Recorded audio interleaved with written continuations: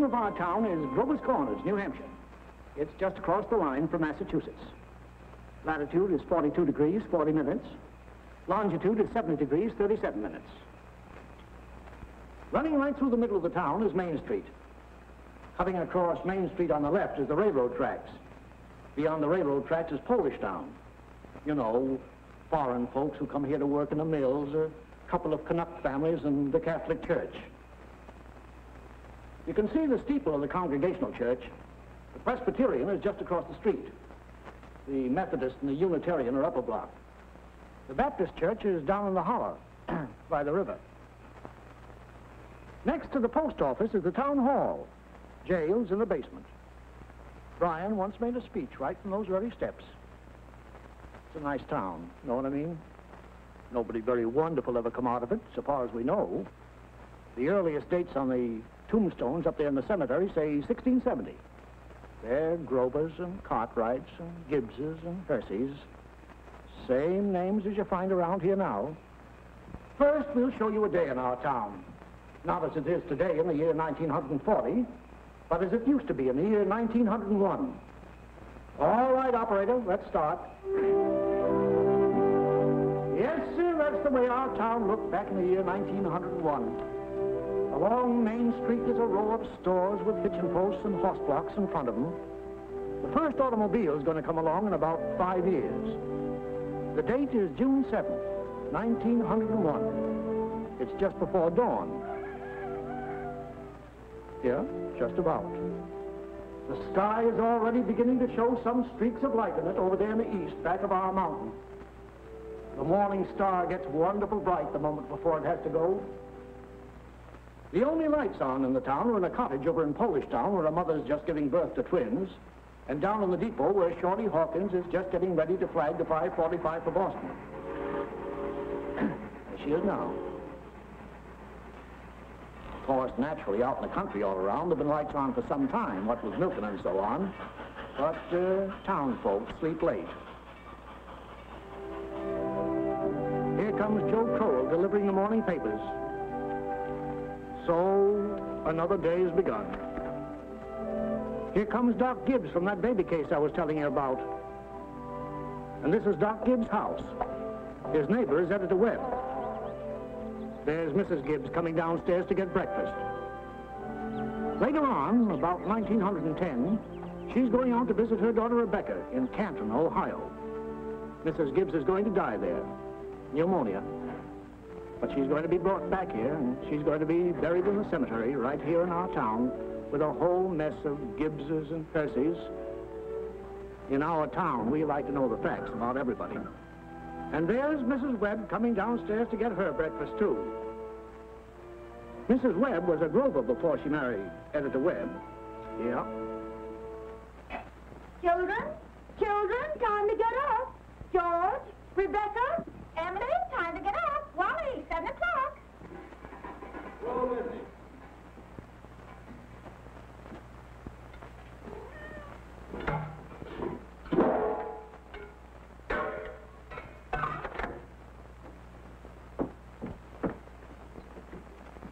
Morning, Hart. Morning, Miss Gibbs. Seems like you're late today. Yeah, something went wrong with separator. Don't know what it was.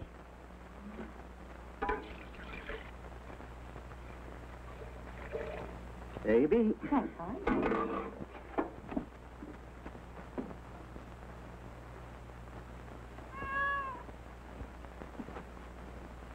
Morning, Miss Webb.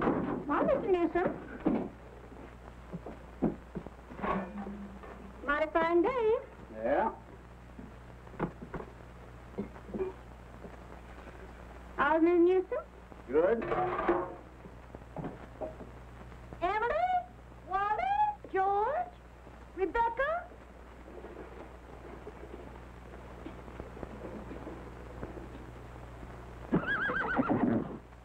Come on, get up. Betsy, come on. What's the matter with you? Oh, they've quit taking milk. Now, come on. Morning, Howie. Come on. Morning, Doc. Come Betsy on. acting up? She's all mixed up about the rot ever since the Lockhart stopped taking a quart of milk a day. Short to leave quart just the same. Keeps scolding me the whole trip. Somebody sick? Twins over at Mrs. Goloslavsky's. Oh, twins. Uh, this town keeps getting bigger every year. Come on. Now, come on, Betsy. Morning, Doc. Morning, Joe. Want your paper now? Yeah, I'll take it. Uh, anybody been sick, Doc? No, twins over in Polish Town. Joe, I see your teacher, Miss Foster, is going to get married. Yes, sir, to a fellow over in Concord. Where? How do you boys feel about that? Well, of course, it ain't none of my business, but I think if a person starts out to be a teacher, she ought to stay one. How's the knee, Joe? Fine, Doc. Never think about it at all. Only like you said, it always tells me when it's going to rain. What's the telling in today? Gonna rain? No, sir. Sure? Yes, sir. He never makes a mistake? No, sir. Doc? Joe? want to tell you something about that boy, Joe Crowell. Joe was awful smart, so he got a scholarship to Boston Tech. Yes, sir. going to be a great engineer, Joe was. But the war broke out, and he died in France. All that education for nothing. Everything all right, Frank? Yes. I declare he's his kittens. Children, hurry up. George, Rebecca. Bacon will be ready in a moment. Sit down and drink your coffee. You can catch a couple hours sleep this morning, can't you? Miss Wentworth's coming at 11. Guess I know what's about to. Stomach ain't what's ought to be. All told, you won't get more than three hours sleep. Frank Gibbs, I don't know what's going to become of you. School should go away someplace and take a rest. I think it'll do you good.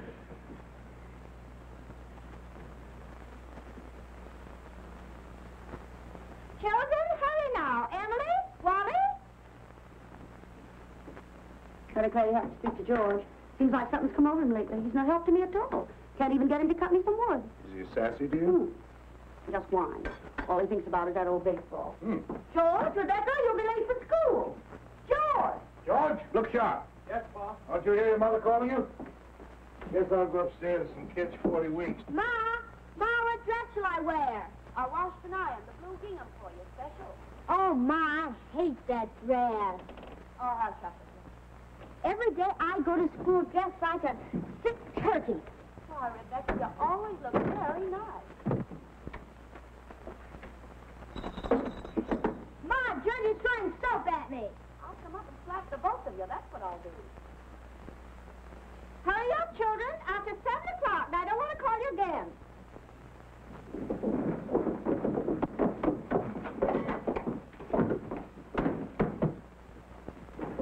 Huh? Children?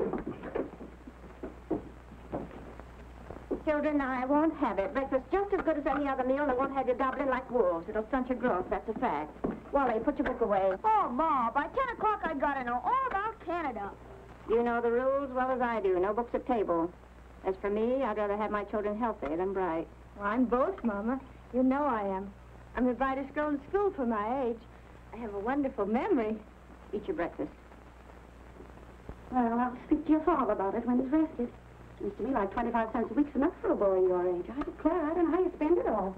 Oh, Ma, I got a lot of things to buy. Strawberry fox cakes, that's what you spend it on. Well, I don't see how Rebecca comes to have so much money. She's got more than a dollar. I've been saving enough gradual. Well, dear, I think it's a good thing to spend some now and then. Ma, you know what I like most in the world? Do you? Money. Eat your breakfast. This first blood, Gumbo.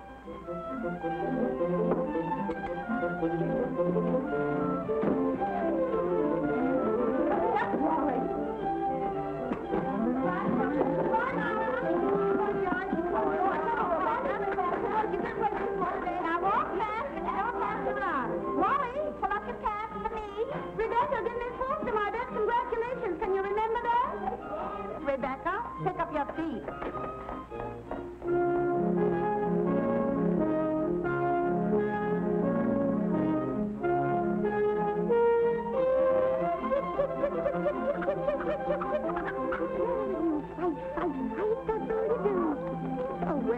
Come from? You don't belong to me. What you so scared of? Nobody's gonna hurt you. Morning, Julia. Morning, Myrtle. How's your cold? Oh, still got that tickling feeling in my throat. Told Charles I didn't know if I'd go to choir rehearsal tonight. Ever try singing over your voice? Yes, but somehow I can't do that and stay on key. Beans have been good this year. Let me help you. Mm. I tried to put up 44th, but it kills me. Children say they hit 'em, but I notice they managed to get get 'em down all winter. Myrtle, I got to tell you something. If I don't tell somebody, I'll burst. By Julia Gibbs, one of those second-hand furniture men from Boston came to see me last Friday. First, I thought it was a patient waiting to see Dr. Gibbs, but he wormed his way right into my parlor. Little Webb, he offered me $350 for Grandmother Hershey's highboy as I'm sitting here. Well, you're going to take it, aren't you? Mm. You don't know? $350? Well, what's come over you? Well, if I could get the doctor to take the money and go away someplace on a trip, I'd sell it like that. You know, it's always been the dream of my life to see Paris, France. Crazy, I suppose. For years, I've been promising myself if we ever had the chance. How's Doctor feel about it? Well, I did beat about the bush a little. Said if I ever got a legacy, that's the way I put it, hmm. I'd make him take me. What'd he say? You know how he is. Haven't heard a serious word out of him since I've known him. No, he says, might make him discontented with Grover's Corners to go traipsing over Europe. No, let well enough alone, he's here. Well, if that second-hand man's real serious about buying it, you sell it, Julia. Then you'll get to see Paris. Just drop hints from time to time. That's how I got Mr. Webb to take me to see the Atlantic Ocean, you know. Mm, sorry I mentioned it. But it seems to me once in your life before you die, you ought to see a country where they don't speak in English and don't even want to. That'll do, ladies. Thank you very much. Now we'll skip a few hours.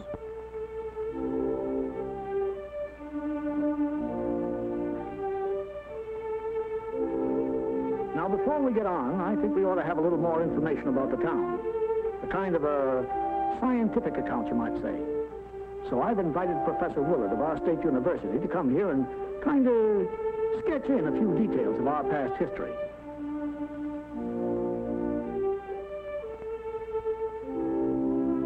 There he is now. Am I late? Right on time. May I introduce Professor Willard of our state university? Now, uh, just a few brief words, Professor. Unfortunately, our time's limited. yes, sir. Let me see. Uh, Grover's Corners. Uh, Grover's Corners lies on the old Pliocene granite of the Appalachian Range. I might say that's some of the oldest land in the world. We're very proud of that around here. Some highly interesting fossils have been found. I might say unique fossils. Two miles north of town in uh, Silas Peckham's cow pasture. These may be seen in the museum of the university at any time. Well, that is, at any reasonable time. Uh, shall I tell them about the meteorological conditions, the mean precipitation, etc.? I'm afraid we won't have time for that, Professor. We might have a few words about the history of man here, though. Oh, anthropological data. Yes. Let's see. Um, early Amerindian stock, Cotahatchee tribes. No evidences before the 10th century of this era. Now entirely disappeared. Possible traces in three families. Migration in the early 17th century of English brachiocephalic blue-eyed stock, and uh, since then some Slav and Mediterranean. And the, uh, the population, Professor? Uh, within the town limits, 2,640. The po- Oh, is that so? In that case, the population at the moment is 2,642. The postal districts bring in 507 more, making a total of 3,149. Mortality, birth rates, constant. Uh, by McPherson's gauge, 6.032. Thank you very much, Professor. I'm sure we're all very much obliged to you. Not at all, sir, not at all. on. Good day.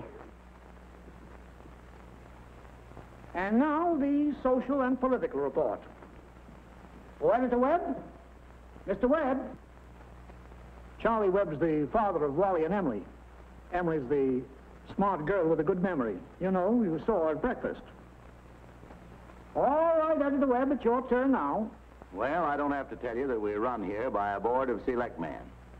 All males vote at the age of 21. Women vote indirect. Politically, we are 86% Republican, 12% Democrats, 4% Socialists. Rest indifferent. Religiously, we're 85% Protestants, 12% Catholics. Rest indifferent. Very ordinary town, if you ask me, but our young people here seem to like it well enough. Lots of them settle down right here to live, even after they've been away to college. Now, is there anybody in the audience who'd like to ask Editor Webb any questions about our town? Is there much drinking in Grover's Corners? Well, ma'am, I wouldn't know what you'd call much. Uh, Saturday nights, the farmhands meet down at Ellery Greenough's stable and holler some. We got one or two town drunks, but they're always having remorses every time an evangelist comes to town. No, I'd say that liquor wasn't a regular thing in the home here, except in the medicine chest. Right good for snake bites, you know, always was. Uh, Mr. Webb, yes? Mr. Webb, is there any culture or love of beauty in Grover's Corners? Well, no, ma'am, not much. That isn't the sense you mean. There's some girls that play the piano over at the high school commencement, but they ain't happy about it. No, there ain't much culture. Robinson Crusoe and the Bible and Handel's Largo, we all know that, and Whistler's mother. Eh, that's about as far as we go. Thank you very much, Mr. Webb. Is there no one in town aware? No, I'm sorry, but we haven't time for any more questions. We must be getting on with the picture. It's getting on in the afternoon. All 2,642 have had their dinners. All the dishes have been washed. There's an early afternoon calm about the town. Charlie Webb's going home to mow his lawn. One man in ten thinks it's a privilege to push his own lawnmower. The afternoon session of school is over. Doc Gibbs is in his office tapping people and making them say, ah, ah.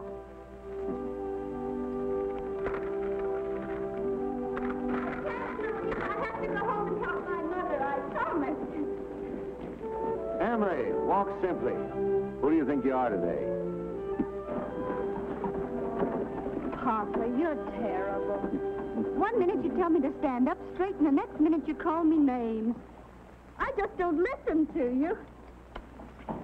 Golly, never got a kiss from such a great lady before. Hello, Emily. Oh, hello. You made a fine speech in class today. Well, uh, I was really ready to make a speech on the Monroe Doctrine, but the last minute Miss Foster made me talk about the Louisiana Purchase instead. I worked an awful long time on both of them. Gee, it's funny, Emily. From my window up there, I can see your head nights when you're doing your homework over in your room. Why, can you?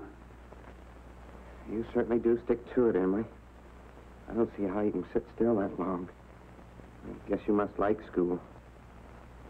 Well, I feel it's just something you have to go through. What do you think, Emily? We might work out a kind of telegraph from your window to mine, and you could give me a hit every once in a while on one of those algebra problems. Well, Oh, I don't mean the answers, Emma. Of course not. I mean, just some little hint. oh, I think him so loud, so uh, if you get stuck, George, just whistle to me, and I'll give you some hints. Gosh. You're just naturally bright, I guess. Well, I figure it's just the way a person's born. Yeah. But you see, well, I want to be a farmer, and my Uncle Luke says is whenever I'm ready, I can come over and work on his farm. And if I'm any good at all, I, I can just gradually have it. You mean the house and everything? Oh, yeah.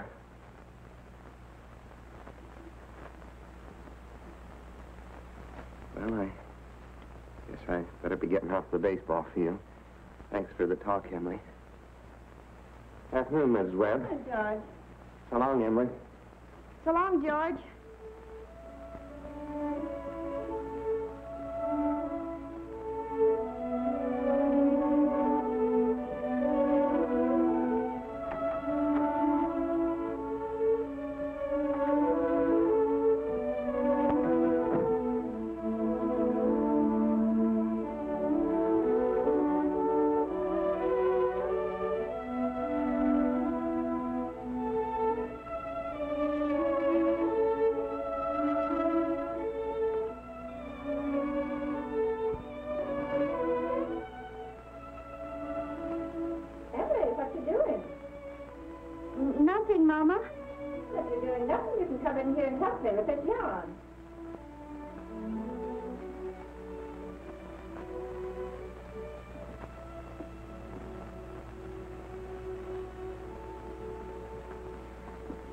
George Gibbs let himself have a real conversation, didn't he? He's grown up. How old would George be? Oh, I don't know. Let's see, he must be round 17. Mama made a speech in class today. I was very good. Mm. You must recite it to your father at supper. What was it about? The Louisiana Purchase. It was like silk off a spool. I'm going to make speeches all my life. Holding it too tight, Emily. Yeah, that's better. Mama, Mm. will you answer me a question? Serious? Seriously, dear, not serious. Seriously, will you? Of course I will. Mama, am I good looking? Of course you are. Both my children have got good features. Be ashamed if they hadn't. Oh, Mama, that's not what I mean. What I mean is, am I pretty? I've already told you yes. Now, that's enough of that. You got a nice, young, pretty face. Never heard such foolishness. Oh, Mama, you never tell us the truth about anything. I am telling you the truth. Mama, were you pretty? Yes, I was, if I do say it. I was the prettiest girl in town next to Mamie Cartwright. Oh, but Mama, you've got to say something about me. Am I pretty enough to get anybody? Well, to get people interested in me. Emily, you make me tired. Now stop it. You're pretty enough for all normal purposes.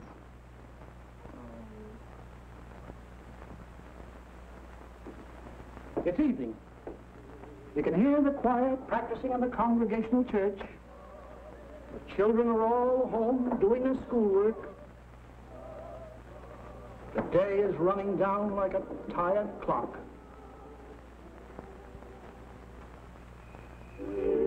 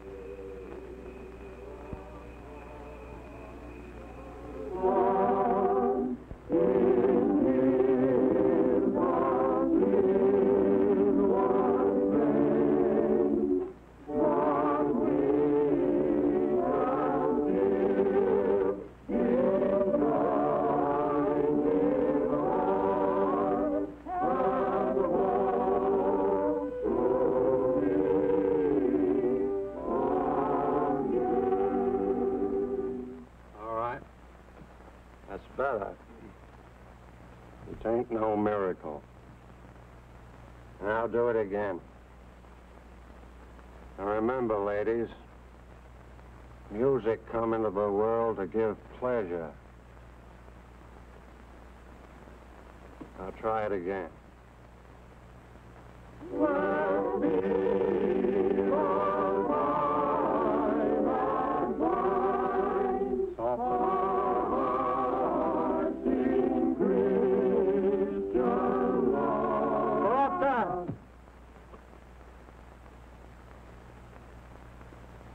Everybody.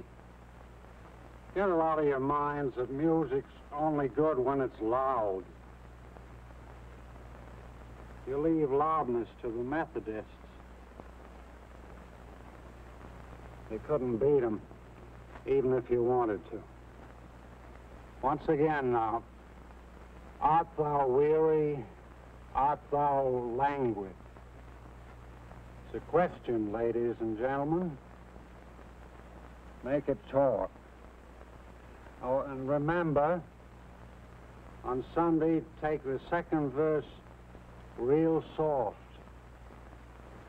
Sort of die out at the end. Ready?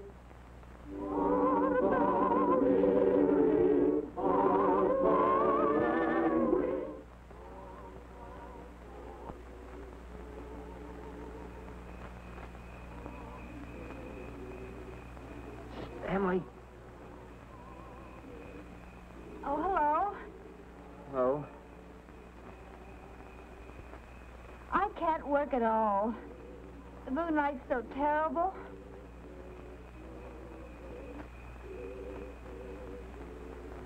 Emily, uh, did you get the third problem?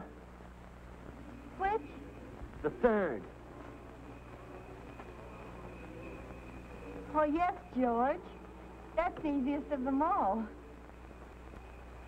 I don't see it. Well, Emily, uh, could you give me a hint? Well, I'll tell you one thing. The answer's in yards. In yards? What do you mean? Square yards. Oh, square yards. Well, yes, George, don't you see? Yeah. Square yards of wallpaper. Oh, I see. Square yards of wallpaper. Thanks a lot, Emily. You're welcome. My. Isn't the moonlight terrible?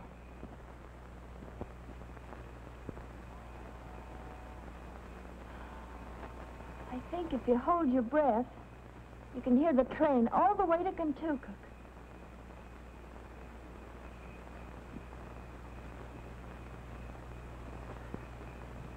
Hear it? Oh, what do you know? Well, I guess I'd better get back now and try to work. Good night, Emily. Good night, George. Oh, George, can you come down a minute? Yes, Paul.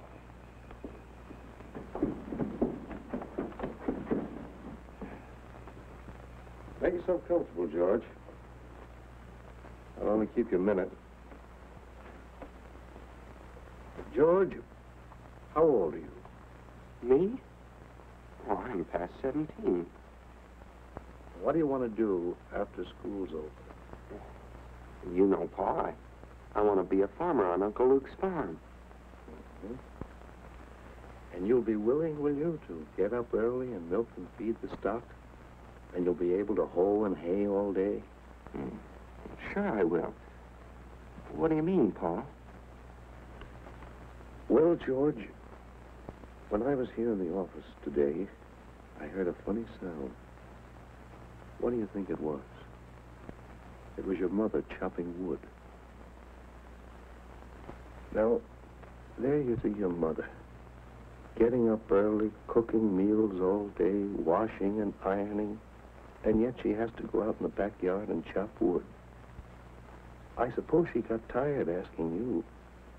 I suppose she just gave up and decided it was easier to do it herself. Yet, you eat her meals. You put on the clothes she keeps nice for you. Then you run out and play baseball. Like she was a hired girl we kept around the house but didn't like very much. I knew all I had to do was call it to your attention. Here's a handkerchief, son.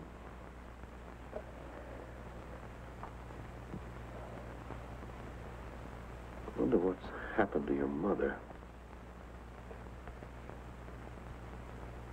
Choir practice never was as late as this before. It's Only half past eight, Pa. I don't know what she wants in that choir anyway. She hasn't got any more voice than an old crow.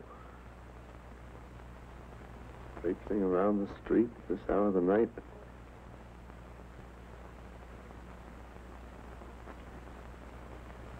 Just about time you retired, don't you think, George?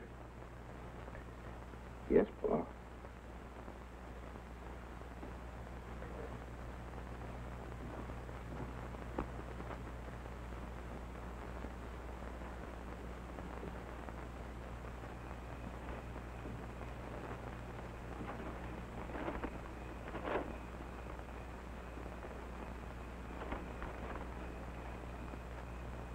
My, it's late.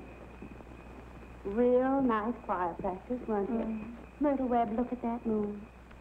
Potato weather, sure. Well, uh, naturally, I didn't want to say a word about it in front of those others. But now we're alone. Really, it's the worst scandal that ever was in this town. What? Why, Simon Stimson. No, Luella. But, Julia, to have the organist of a church drink, and drunk year after year. Luella. Julia, you know he was drunk tonight. Now, Luella, we all know about Mr. Stimson, and we all know about the trouble he's been through. And Dr. Ferguson knows, too. And if Dr. Ferguson is willing to keep him on in his job there, the only thing the rest of us can do is just not to notice it. Not to notice it? But it's getting worse. No, it ain't, Luella. It's getting better. I've been in that choir twice as long as you have, and it doesn't happen anywhere near so often. Oh, my. I hate to go to bed on a night like this. Well, good night, Luella. Good night. Good night, Julia. Night, Myrtle. Did we get home all right, Luella? Oh, it's bright as day. I can see Mr. Soames scowling at the window now. you think we've been to a dance the way the men folk carry on. Good night, Julia. Good night, Luella. See you on Sunday. See you then.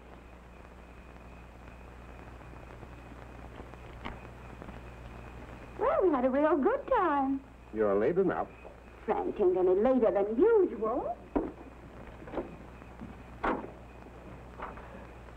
You stopping to gossip with a lot of hens. Now, don't be grouchy. Smell my heliotrope. What'd you do all the time I was away? Oh, I read as usual. Well, what did the girls gossip about tonight? Believe me, Frank, there's something to gossip about. Simon Stimson?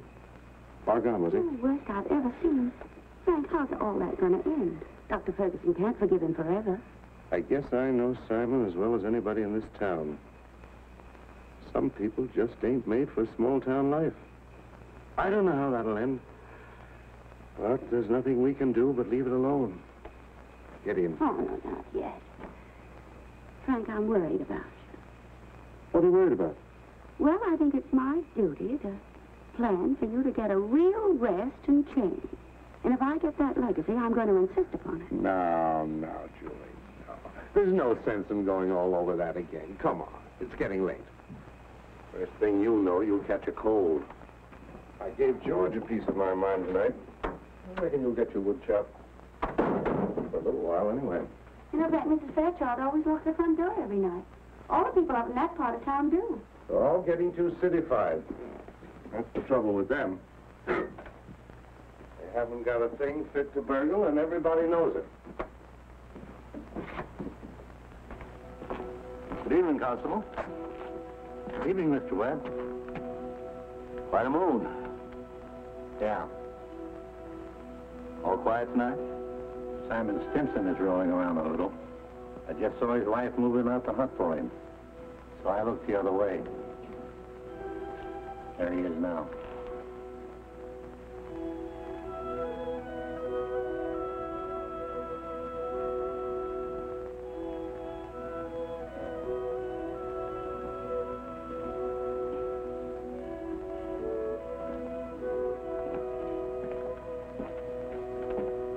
Good evening, Simon.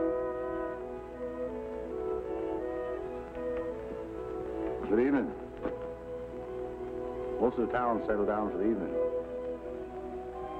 Guess we'd better do the same. Can I walk along with you?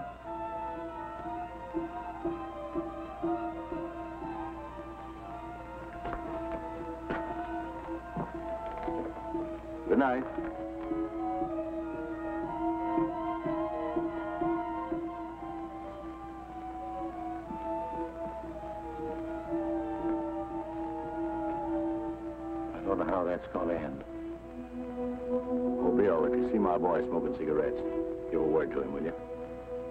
He thinks a lot of you, Bill.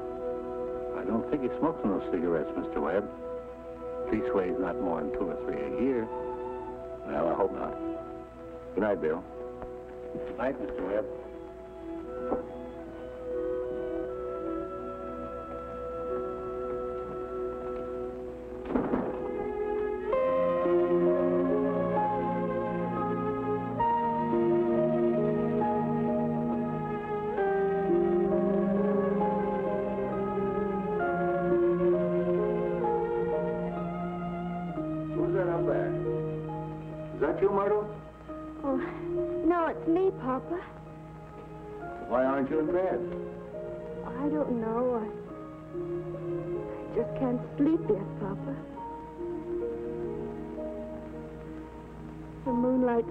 Wonderful.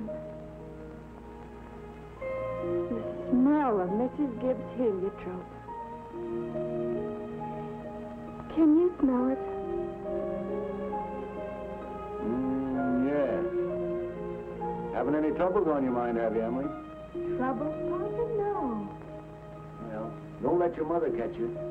Good night, Emily.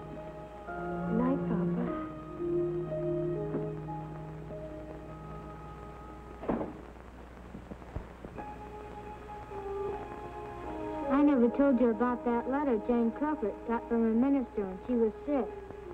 He wrote Jane a letter, and on the envelope, the address was like this.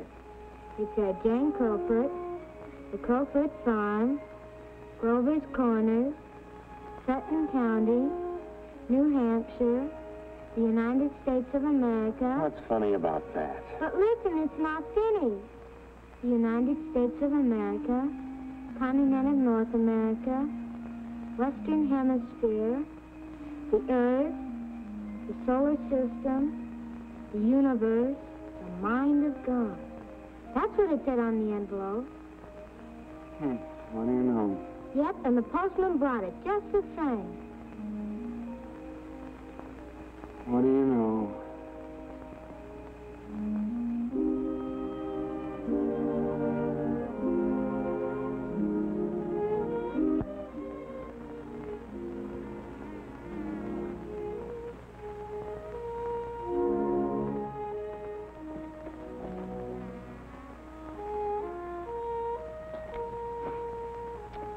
Well, three years have gone by. The sun's come up over a thousand times. Summers and winters have cracked the mountains a little bit more, and the rain's brought down some of the dirt. Some babies who weren't even born before have begun talking regular sentences already. And some folks who thought they were right young and spry have discovered they can't bound up a flight of stairs the way they used to without their hearts fluttering a little. All that can happen in a thousand days. Nature's been pushing and contriving in other ways, too. A number of young people fell in love and got married. Most everybody in the world gets married. In this town, there aren't hardly any exceptions. Most everybody climbs into the grave married. What you've seen was called the daily life. Let's call what you're going to see love and marriage. So it's three years later. It's 1904. It's July 7th, just after the high school commencement. That's the time most young people jump up and get married. As soon as they've passed their final examinations in solid geometry and Cicero's orations, that's the time most young people think themselves fitted to get married. It's early morning again. Only this time it's been raining. It's been thundering and pouring. I don't know. May start in again any moment. Yeah? There's the 545 for Boston. And there's Crowell delivering the papers like his brother before him.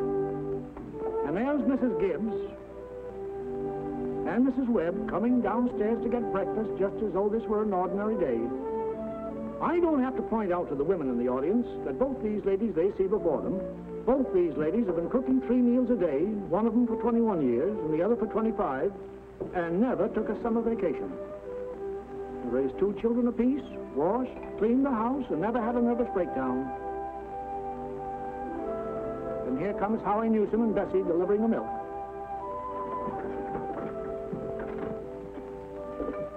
Morning, Howie. Morning, Si. Anything in the paper I ought to know? Nothing much. Except for losing about the best baseball pitcher Grover's Corners ever had. George Gibbs, huh? I don't see how I'd give up a thing like that just to get married. Would you have, Howie? Can't say. Never had no talent that way. But in 95, we had a player, Si, that even George Gibbs couldn't have touched. Name of Hank Todd. But he went down to Maine and become a parson. Wonderful ball player. Fine. Howie?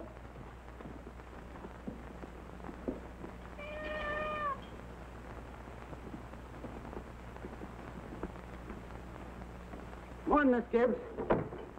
Morning, Howie. Uh, it's too bad it's so wet, but I guess it's cleared up for good. Certainly hope it has. Going to have a house full of relations today, Howie.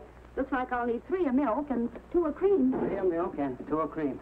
My wife says to tell you we hope they'll be happy. No, they will. Thanks a lot, Howard. Tell your wife I hope she gets the wedding. Maybe she can. She'll get there if she can.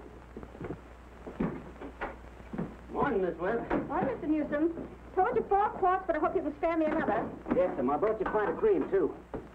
Miss Newsome told me special to tell you as how they hope to be very happy. No, they will. Thank you, Mr. Newsome, and thank Mrs. Newsome. We're counting on seeing you at the church. Yes, sir. We hope you get there all right. Wouldn't miss that.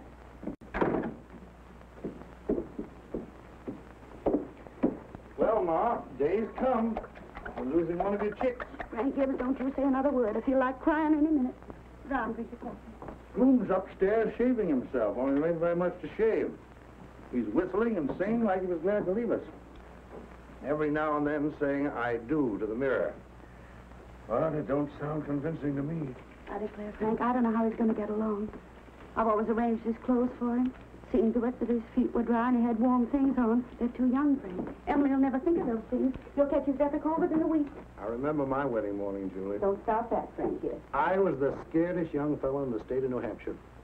Thought I'd made a mistake for sure. And when I saw you coming down the aisle, I thought you were the prettiest girl I'd ever seen. The whole trouble was I'd never seen you before.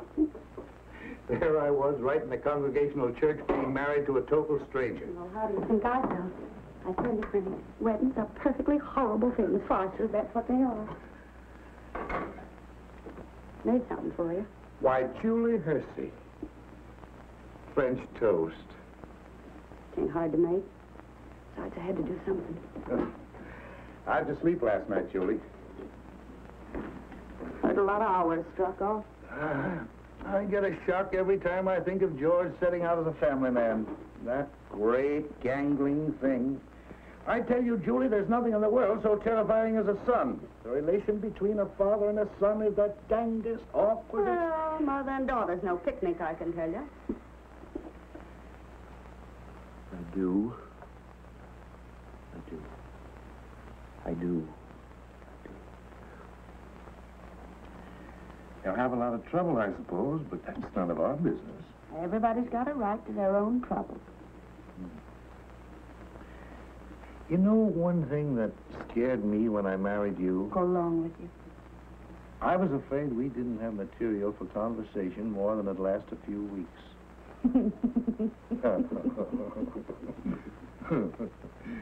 I was afraid we'd run out and have to eat our meals in silence. well, you and I have been conversing for 20 years without any noticeable barren spells. Good weather, bad weather, tain't very choice, but I always find something to say. Did you hear Rebecca stirring around up there? No. This is the only day in the year when she isn't managing everyone's affairs up there. She's hiding in her room, and I have an idea she's crying. Land. Grace, this has got to stop. Rebecca? Rebecca, come and eat your breakfast.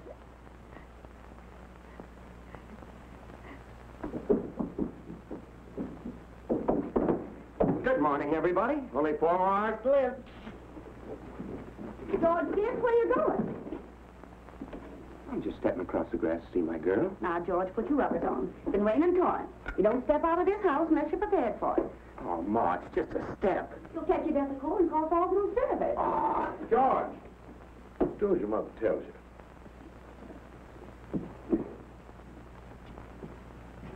From tomorrow on, you can kill yourself in all weathers. But when you're in my house, you'll live wisely, thank you. Maybe Mrs. Webb ain't used to call us at 7 o'clock in the morning. Here, have a cup of coffee first. Be back in a minute. Oh, Good, morning, Mother Webb. Goodness, you frighten me. George, I hate to say it, but you understand I can't ask you in. Why not? You know as well as I do a groom can't see his bride on his wedding day. Not till he sees her in church first. Oh, that's just a superstition. Good morning, Mr. Webb. Morning, George. You don't believe in that superstition, do you? There's a lot of common sense in superstitions, George. Millions have followed it, and don't you be the first to fly in the face of custom. How's Emily? She hasn't waked up yet. Haven't heard a sound out of her. Emily's asleep. Well, no wonder we were up till all hours, sewing and packing. Tell you what I'll do, George. You sit down here with Mr. Webb for a minute, drink that cup of coffee. And I'll run up and see that she doesn't come down and surprise you. There's some bacon there. I won't be too long about it.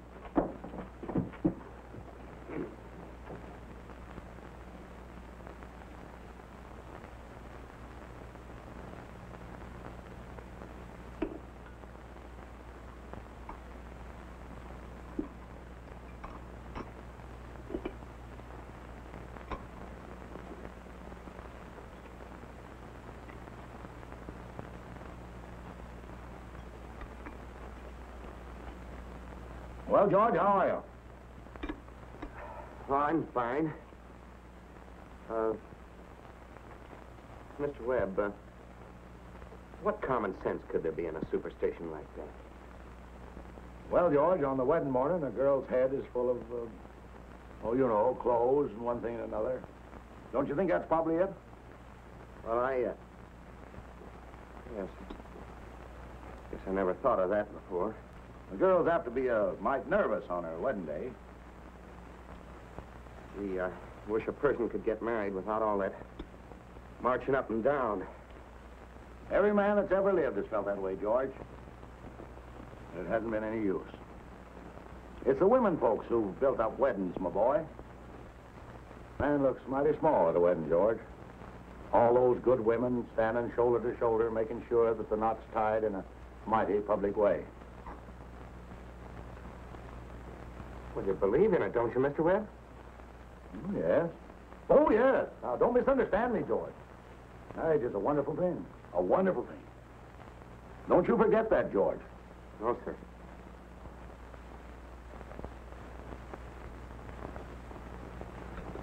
Mr. Webb, uh, how old were you when you got married? Well, you see, I had been to college, and I'd taken a little time to get settled. But Mrs. Webb wasn't much older than what Emily is. Oh, age hasn't much to do with it, my boy. That is, compared with uh, other things. What were you going to say, Mr. Webb? Hmm? Well, I don't know. Was, was I going to say something? George? I was remembering the other night the advice my father gave to me when I got married. Yes, he said. Charles, he said, start right off by showing her who's boss. Best thing to do is to give an order about something, even if it don't make sense. Just so she'll learn to obey, he said. Then he said, if anything about her irritates you, conversation or anything, get right up and leave the house. That'll make it clear to her. And oh, yes, he said, never tell your wife how much money you have. Never. Well, I couldn't exactly do So that. I took the opposite of his advice, and I've been happy ever since. So let that be a lesson to you, my boy. Never ask advice of anybody on personal matters. George, Emily's got to come down and eat her breakfast. She sends you love, but she don't want to lay eyes on you. Goodbye. Goodbye. Myrtle, I guess you didn't know about that older superstition. What do you mean, Charles? Since the caveman, no bridegroom should see his father-in-law on the day of the wedding or near it. Remember that.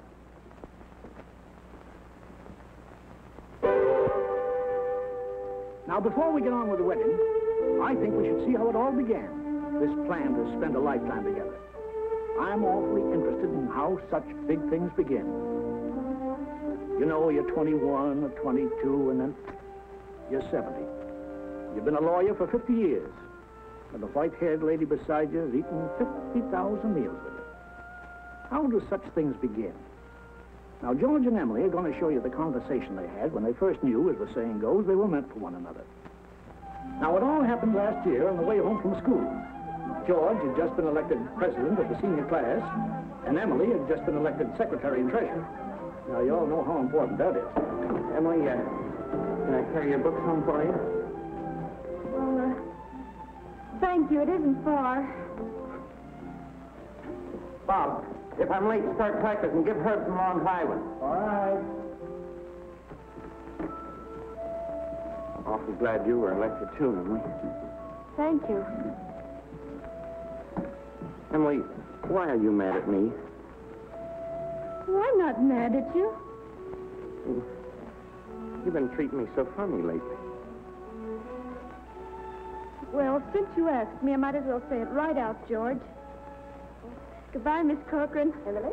Hi, Miss Corcoran. George? What is it? I don't like the whole change that's come over you this last year. I'm sorry if that hurt your feelings, but I just got to tell the truth and shame the devil. Change. What do you mean? Well, up to a year ago, I used to like you a lot. I used to watch you while you did everything. Because we'd been friends for so long. And then you started spending all your time at baseball, and you never stopped to speak to anybody anymore. Not to really speak. Not even to your own family you didn't. And George, it's a fact. Since you've been captive and you got awful stuck up and conceited, and all the girls say so. Hurts me to hear them say it, but I have to agree with them a little because it's true. Oh, gosh, Emily. I never thought that such a thing was happening to me. I guess it's hard for a fellow not to have some faults creep into his character. Always expect a man to be perfect, and I think he should be. Why? I don't think it's possible to be perfect, Emily. Well, my father is. And as far as I can see, your father is. And there's no reason on earth why you shouldn't be, too. I feel that it's just the other way around. That, well, men aren't naturally good, but girls are. Well, you might as well know right now that I'm not perfect. It isn't as easy for a girl to be perfect as a man because, well, we girls are more nervous. Oh, now I'm sorry I said that about you. I don't know what made me say it. Emily, Now I can see it isn't the truth at all. Suddenly I feel it isn't important anyway.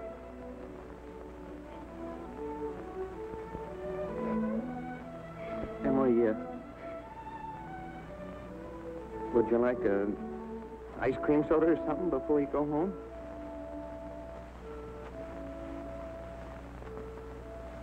Thank you, I would. Hello, George. Hello, Emily. Hello, Morgan. Well, what can I do for you? Why, Emily Webb, what you been crying about? Well, she got an awful scare, Mr. Morgan. That that hardware store wagon almost ran over her. Everybody says that Tom Huckins drives like a crazy man. Well, here, let me give you a glass of water. Gracious, you look all shook up. Well, I tell you, you gotta look both ways before you cross Main Street these days. It's getting worse every year. What do you have? I'll have a strawberry phosphate, Mr. Morgan. Oh, no, Emily. Have a soda with me. Well, I... Two strawberry ice cream sodas, Mr. Morgan. Two strawberry ice cream sodas, yes, sir. Yes, sir, I want to tell you something. There are 275 horses in Grover's Corners this very moment I'm talking to you. State inspector was in here yesterday. Now, with all these automobiles coming along, looks to me like the only safe place to stay was the home. Gracious, I can remember the time when a dog had lie out in the middle of Main Street all day long without anything coming along to disturb him. There you uh, are. Howdy, Mrs. Ellis. What can I do for you? I Got a prescription. Yes? Well, let's see. Shouldn't take long to fill that. You just sit down here. Be with you in just a minute. So expensive. No, Emily, don't you think about that. We're celebrating our election. Emily, I want to ask you a favor. What? If, if I go away to State Agricultural College next year, will you write me a letter once in a while? I certainly will. I certainly will, George. Certainly seems like being away three years, you'd get out of touch with things. Maybe letters from Grover's Corners won't seem so interesting after a while. Grover's Corners isn't a very important place when you think of all New Hampshire, but I think it's a very nice town. Oh, well. The day wouldn't come when I wouldn't want to know everything about our town. Well, I know that's true, Emily. Well, try to make my letters interesting.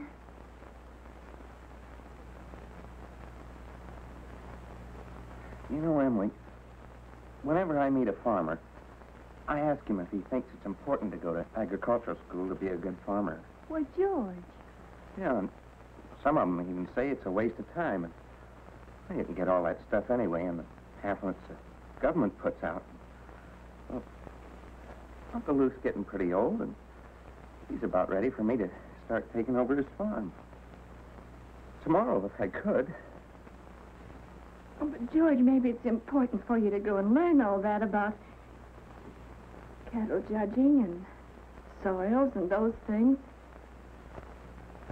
Of course, I don't know. Emily, I'm going to make up my mind right now. I won't go. I'll tell Pa about it tonight. But, George, you don't have to decide right now. It's a whole year away. Emily, I'm glad you spoke to me about that. That, that fault in my character. Everything you said was right, but there was one thing wrong with it. That's when you said I wasn't noticing people. You, for instance. You say you were watching me when I did everything. I was doing the same thing about you all the time. Why?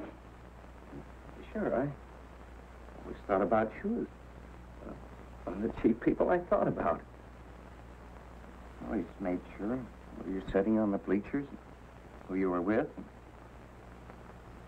For three days now, I've been trying to walk home with you, but something always got in the way. And yesterday, I was standing out by the wall waiting for you. And you walked home with Miss Corcoran. Oh, George. Life's awful funny. How could I have known that? I thought... Emily, I'm going to tell you why I'm not going to agricultural school. I think that once you've found a person that you're very fond of, a person who's fond of you, too, likes you well enough to be interested in your character, I think that's just as important as college is, and even more so. That's what I think. I think it's awfully important, too. Emily, Yes, George? Emily, if I do improve and make a big change, would you be... I mean, could you be... I am now. I always have been.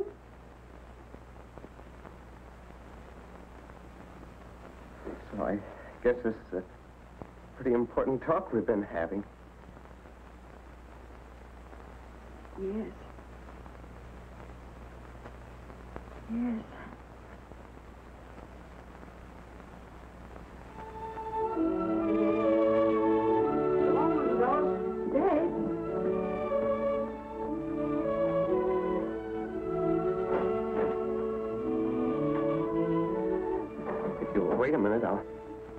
Home.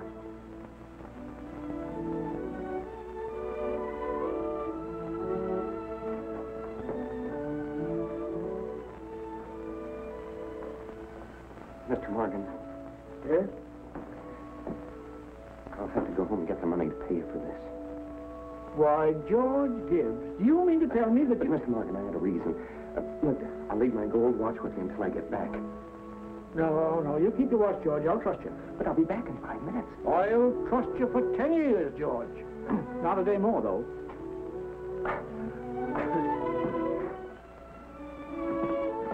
Feeling all right now, Emily? Oh, yes. Thank you, Mr. Morgan. It's nothing.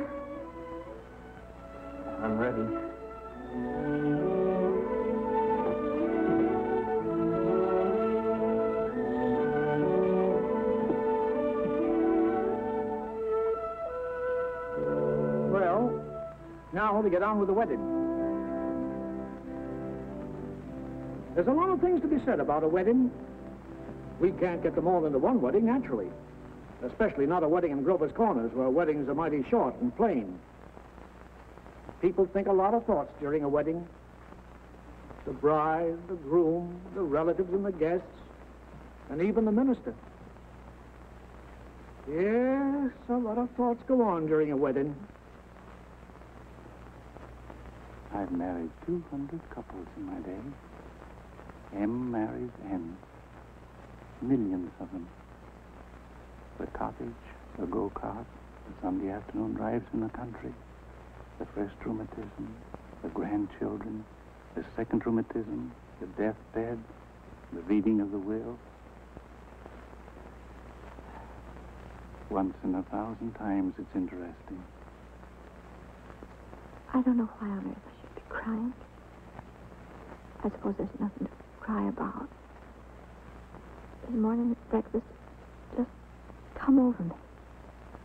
There was Emily eating her breakfast as she's done for 17 years. She's going out of my house.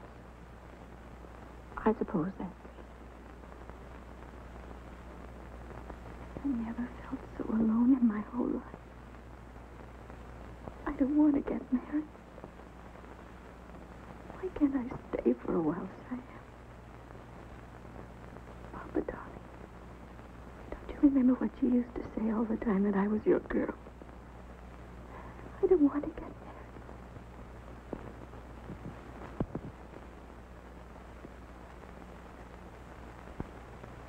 I'm gonna get married. I'm grown up. I'm getting old. I don't want to get old. Taking on all these responsibilities. Why is everybody pushing me so? All I want to do is be a fella. And I'm going to get married.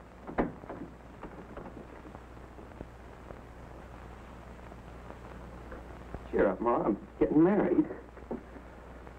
Come on, Ma. Now, Ma, you, you say Thursday night. Emily and I'll be over for supper every Thursday night. You'll see. Come on, Ma. We've got to get ready for this. Got the ring? Oh, yes, sir. Come on.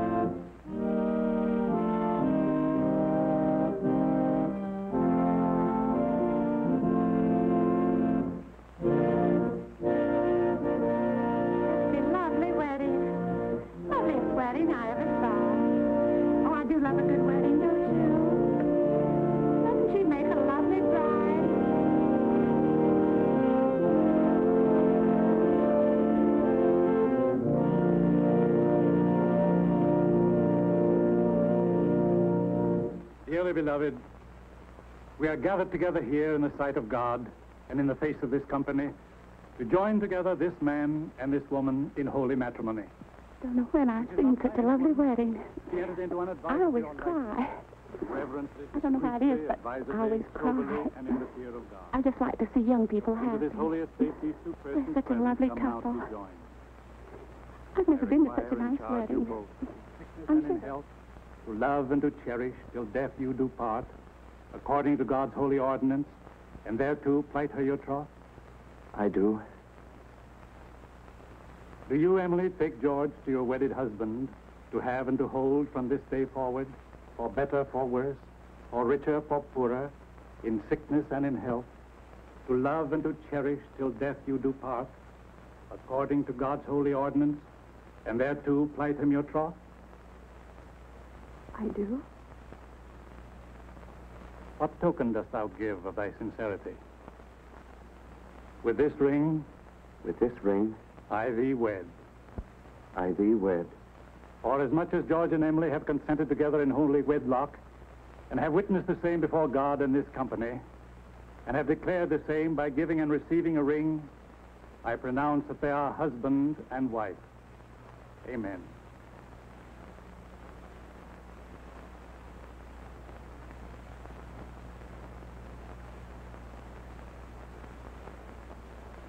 Forever, forever and ever.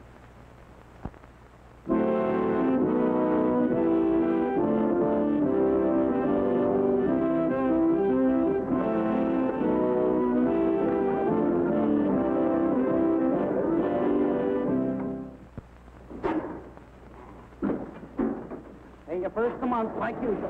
Hey, you, Holly.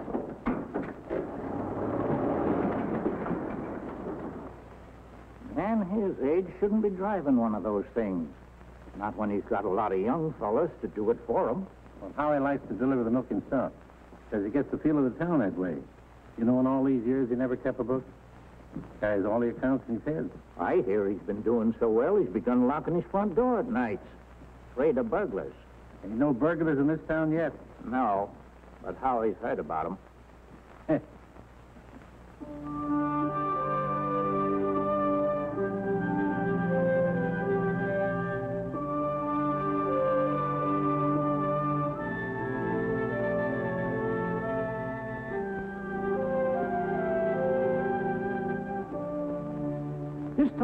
nine years have gone by, friends. It's the summer of 1913. Gradual changes in Grover's Corners. Horses are getting rarer. Farmers are coming into town now in Fords. Still, you'd be surprised, though, on the whole. Things don't change much around here. This is an important part of Grover's Corners up here in this hilltop. Lots of sky, lots of clouds, often lots of sun and moon and stars. Certainly a beautiful spot up here. I often wonder why people want to be buried in Woodlawn or Brooklyn when they might pass the same time up here in New Hampshire. Over here are the old stones, 1660, 1670. Strong-minded people who come a long ways to be independent. Over here some Civil War veterans, iron flags on their graves. New Hampshire boys. They had a notion that the Union ought to be kept together, although they'd never seen more than 50 miles of it themselves. All they knew was a name, friends, the United States of America. The United States of America. And they went and died about it.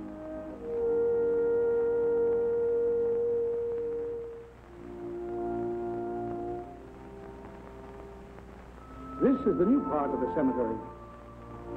There's Mrs. Soames, who enjoyed the wedding so much, remember? And there's our friend, Mrs. Gibbs. Yeah, Doc Gibbs lost his wife three years ago, just about this time. And Editor Webb's boy, Wallace, whose appendix burst on a Boy Scout trip to Crawford Notch. There's Mr. Stimson, the organist at the Congregational Church. He drank a lot, they used to say. Hung himself in the attic. They tried to hush it up, but of course it got around. He wrote his own epitaph. Ain't a verse exactly, it's just a lot of notes. I wouldn't know what it was. It was all read up in the Boston papers at the time, though. A lot of sorrows kind of quieted down up here, too.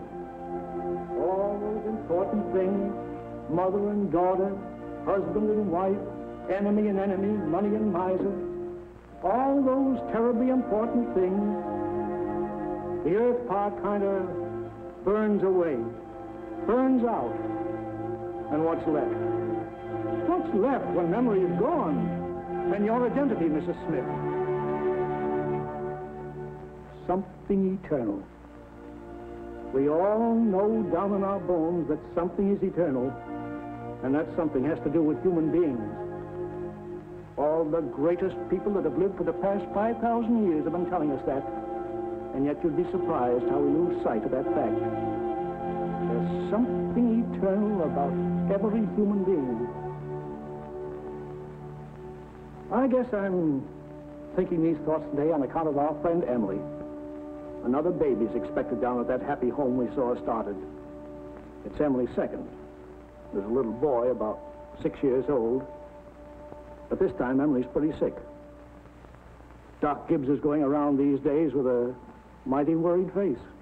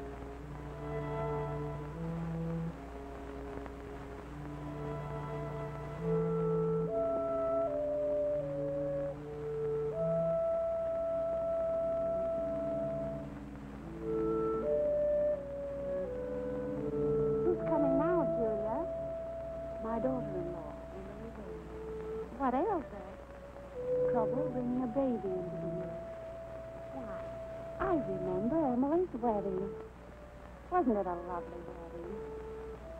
I remember I called on George and Emily at their farm just before I died. It's a beautiful farm.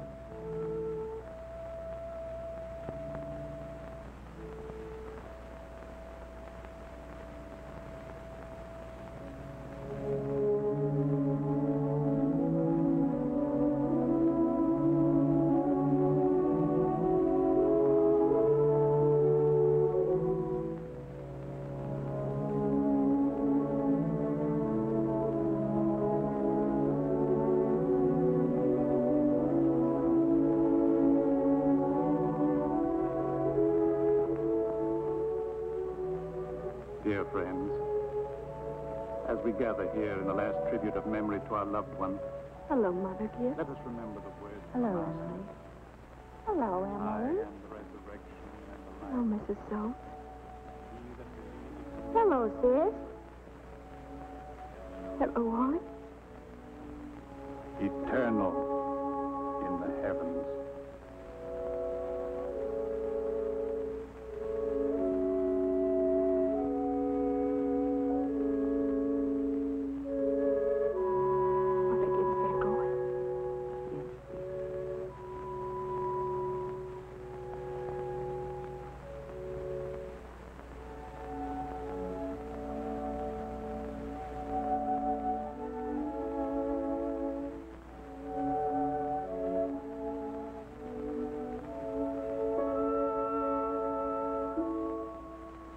Father Gibbs is bringing some of my flowers to you, Gibbs.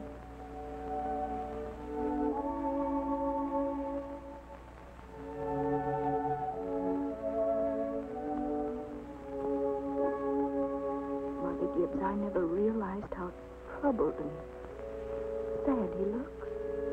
I loved him so. Father Gibbs? Father Gibbs?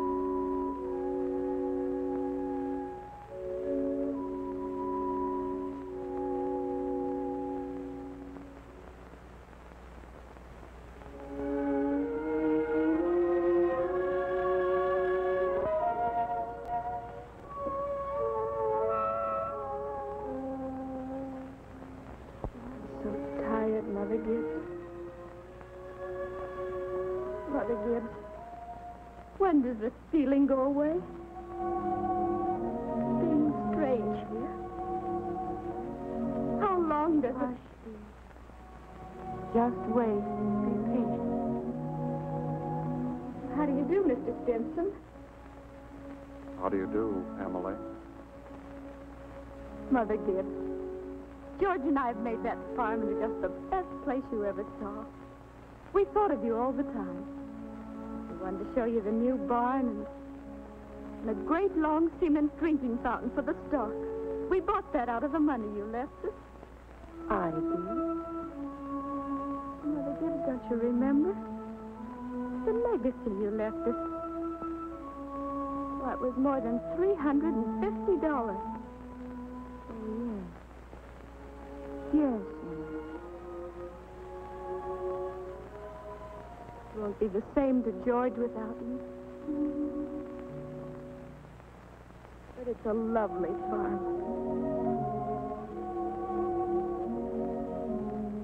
My boy's spending the day at Mrs. Carter's.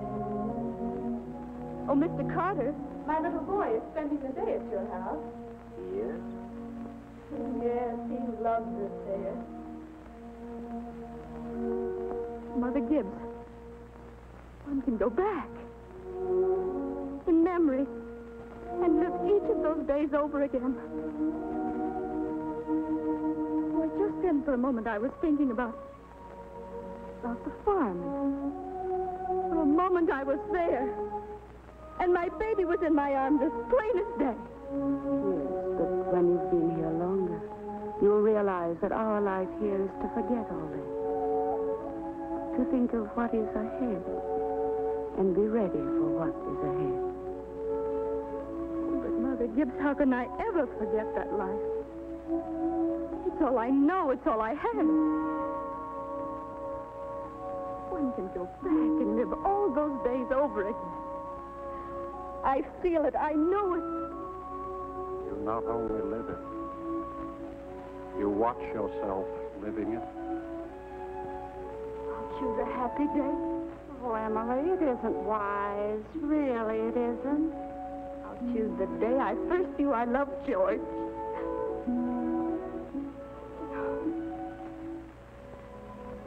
Why should that be painful? Because it's the happiest days that are the hardest to relive and to forget. I must. I must. Then choose an unimportant day. Choose the least important day in your life. It will be important enough.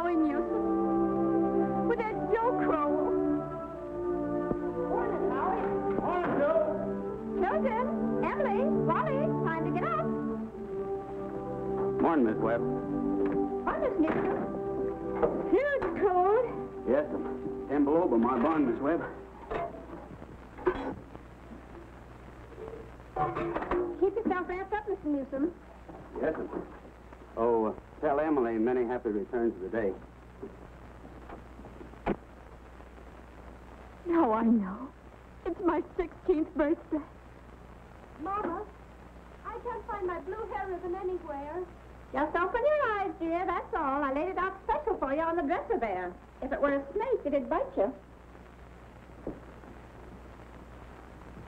How young Mama looks. I didn't know Mama was ever that young. Morning, Howie. Morning, Miss Webb. There's Pop. You're up early. Yeah, I've been back from old college, New York State, to make a speech.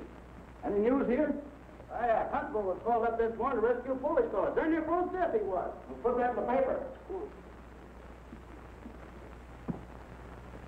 Morning, Mother. Well, there you are back at last. How'd it go, Charles? Oh, fine, I guess.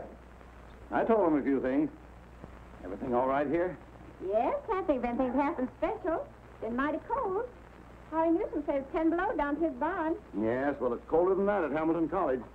Students' ears are falling off. Ain't Christian. Paper have any mistakes in it? Not that I noticed. Well, you can have your coffee when you want it, Charles. Don't forget it's Emily's birthday. Did you remember to get her anything? Got it right here. Where's my girl? Where's my birthday girl? Don't interrupt her now, Charles. You can see her breakfast. She's slow enough as it is. I can't bear it. Why did they ever have to get old? Mama, I'm here. I'm grown up. Oh, I love you all. Everything. I can't look at everything hard enough. Hurry up, children. Seven o'clock. I don't want to call you again.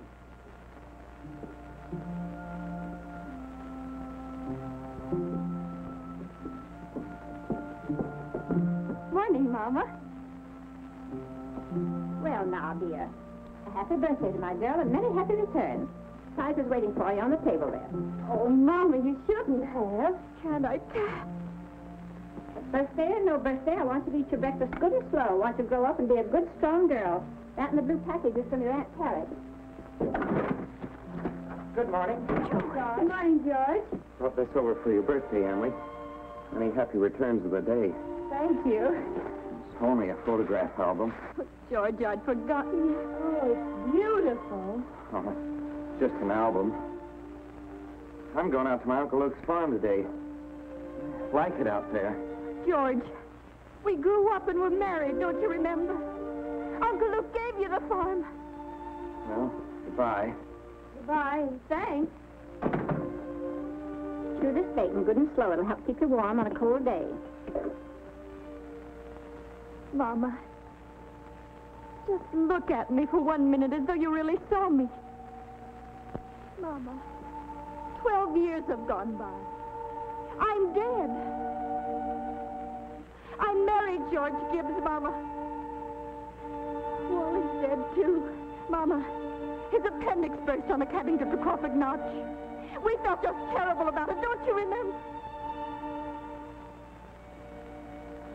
For a moment now, we're all together. Mama, let's be happy just for a moment.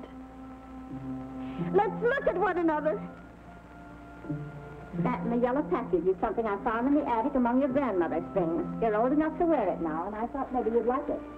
Oh, and this is from you. It's lovely. It's just what I wanted. It's beautiful. I hoped you'd like it.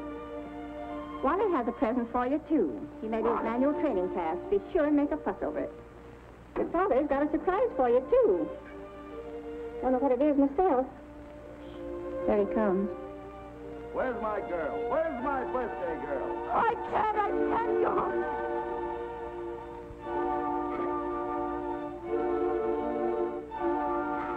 It goes so fast. Have time to look at one another.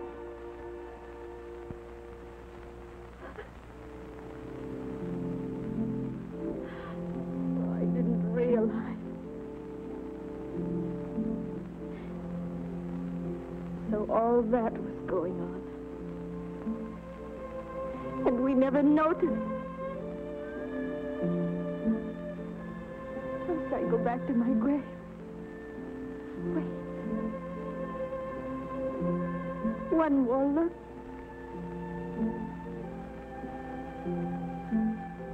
Goodbye. Goodbye, world. Goodbye, Grover's Corner. Mama, Papa. Goodbye to clocks ticking. My butternut tree and Mama's sunflowers. Food and coffee. New iron dresses and hot baths. And sleeping and waking up. Oh, Earth, you're too wonderful for anybody to realize. Do any human beings ever realize life while they live it? Every, every minute. Oh, I want to live, I want to live, I want to live. Of course you do, Emily. Of course.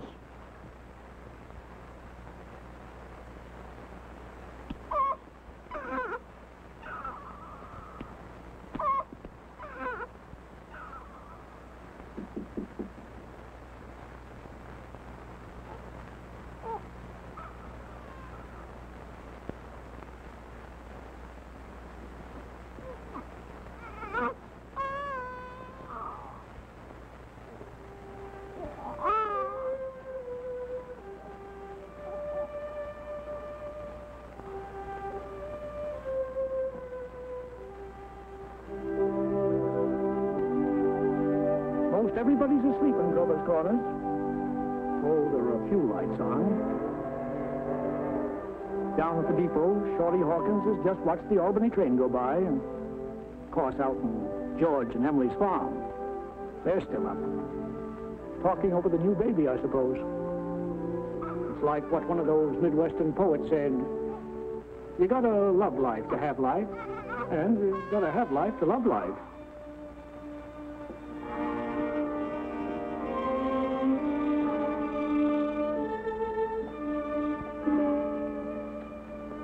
Eleven o'clock in Grover's Corners. Tomorrow's another day. Everybody's resting in Grover's Corners. You get a good rest, too.